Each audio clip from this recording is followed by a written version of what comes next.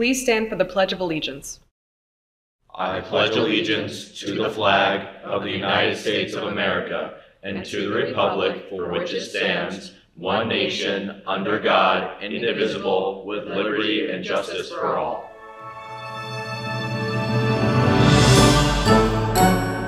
Good morning, CHS, and welcome to this week's Morning Buzz. Today is Friday, April 28th, and it is an A Day.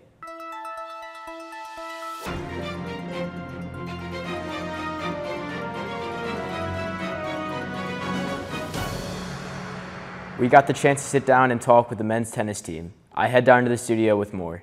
Hey guys, we're here with the boys tennis team. What is your name and what position do you play? I'm Nolan Deck. I play first doubles. I'm Nate Parikh and I play second singles. I'm Austin Warren and I play third singles. I'm Bradley Deeds and I play first singles. What is your favorite memory? My favorite memory is uh, winning sectionals sophomore year.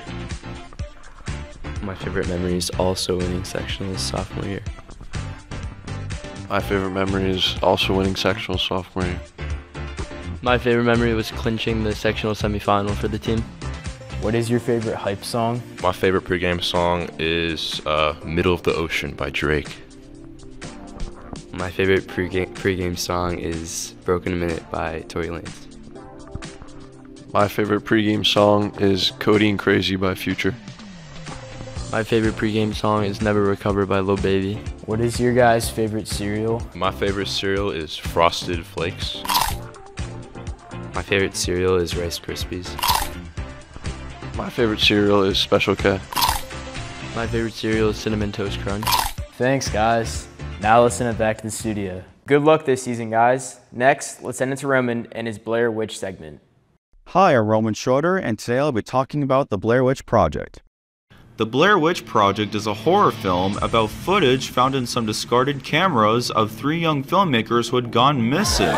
This film came out on July 30th, 1999 and was directed by Eduardo Sanchez and Daniel Myrick.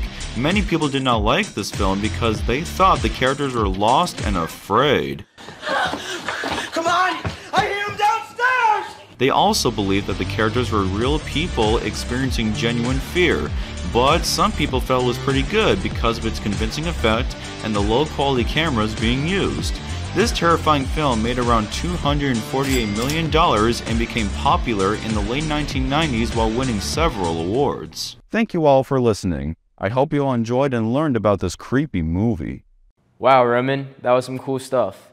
Next, let's see how The Simpsons have had the uncanny ability to predict the future. Hi, I'm Kira, and this is how The Simpsons predicts the future. The Simpsons is an animated TV show, the longest running under multiple categories, following a dysfunctional and all round dopey family called You Know It. Now, there's many a time where something that happens in the show ends up happening in real life, often years afterwards. Some examples video chatting, the Snowden ordeal, the mass of the Higgs boson particle, a Nobel Prize winner, Trump's election into presidency, quite a budget crunch for President Trump, and the fact that a tiger attacked Siegfried and Roy. And there's many more. So, how could this be? Many people have said that with the sheer number of episodes and jokes and all, that it was bound to happen, but to this degree. Well, some of it comes down to the writers being educated and connected. For the Higgs boson particle, one of the writers actually reached out to a friend who was a professor and had him create a realistic mathematical equation.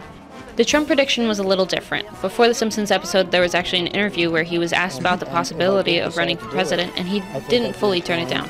I would say that I would have a hell of a chance of winning. This was incorporated because the show is a satirical depiction of American life, a parody of the real world. So when writing, there's often a focus on what could actually happen, but would still be unusual in a way that they could make a nice joke out of it. I mean, that's what satire is all about. As always, thanks for watching. What will they predict next? Do they have a crystal ball? Thanks, Kira. Now the movie mystery.